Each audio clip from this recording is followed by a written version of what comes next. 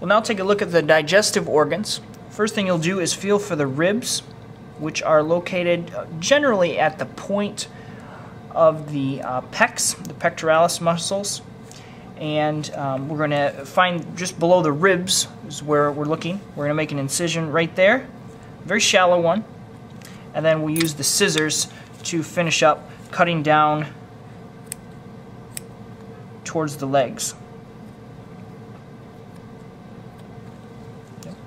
Once I've accomplished that, I'm going to make two lateral cuts so that I can fold open these chest muscles and so that it'll give me access to the digestive organs.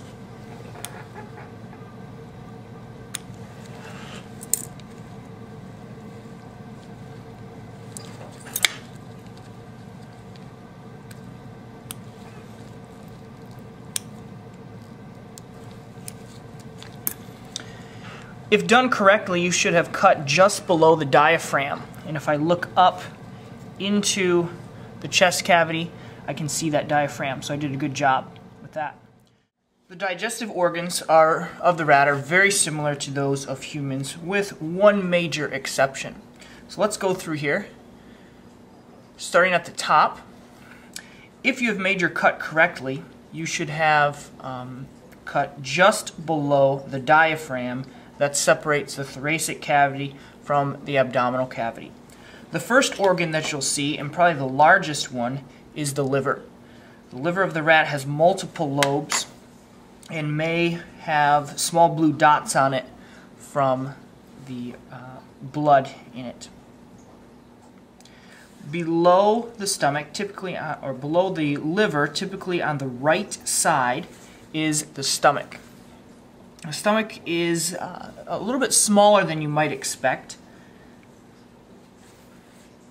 And uh, you can see it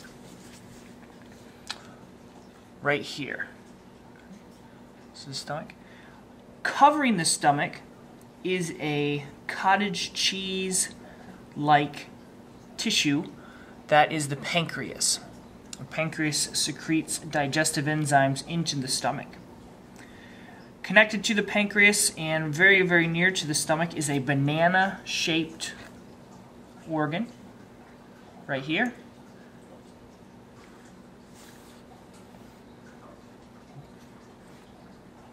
This is the spleen.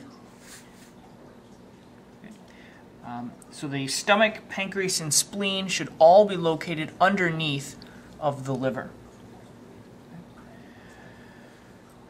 The majority of the digestive cavity is filled with the intestines.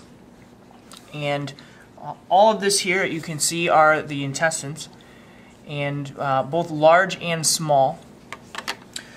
The small intestines are named small not because of their length, but of because of their diameter.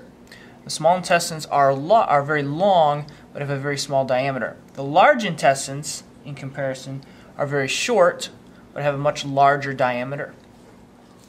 To explore the intestines a little bit further, I would recommend that you very slowly and carefully um, grab a hold of them and you will um, observe that they are connected by a very thin membrane. And this membrane consists of a lot of blood vessels. Um, you can see some right there. Those blood vessels both nourish the intestines with blood and receive nutrients from the food that is being digested. If you very carefully take your fingers and break that membrane and those blood vessels, you'll be able to unravel the intestines to see the relative lengths of the large and the small. I've done that already, and you can see here how long the small intestines are, which is pretty impressive considering the small size of the rat.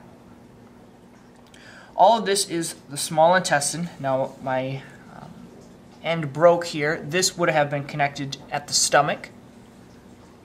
Connected at the other end is the one organ that rats have that humans do not. And this is called the cecum.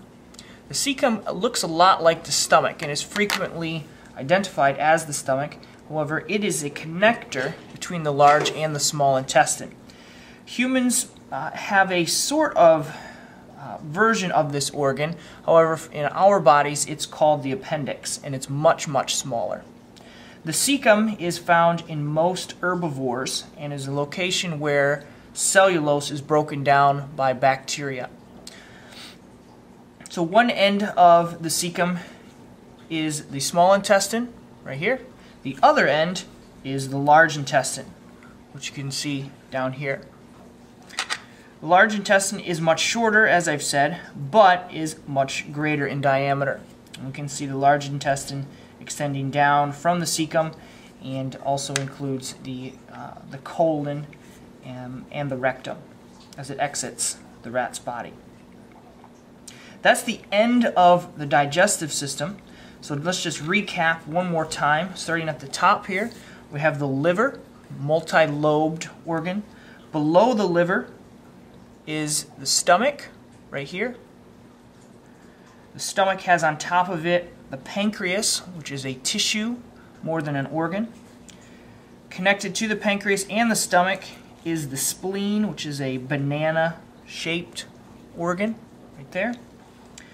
And then we have the small intestines, the cecum, and the large intestine.